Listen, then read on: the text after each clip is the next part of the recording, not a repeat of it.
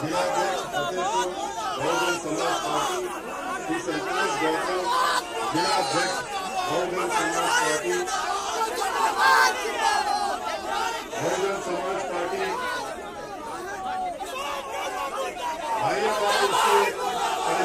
परेशान दिखा रही है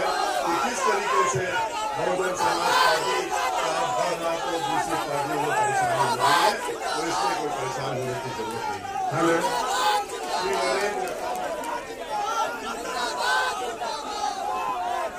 हेलो भाइयों मैं निवेदन करना चाहता हूँ। कि आप लोग शांति बनाए रखें और ये लोग दूसरे दल के लोग हमारे कार्यक्रम में व्याख्यान डाल रहे हैं तो मीडिया के साथियों से और संगठन के साथियों से निवेदन करना चाहूँगा कि रहे रहें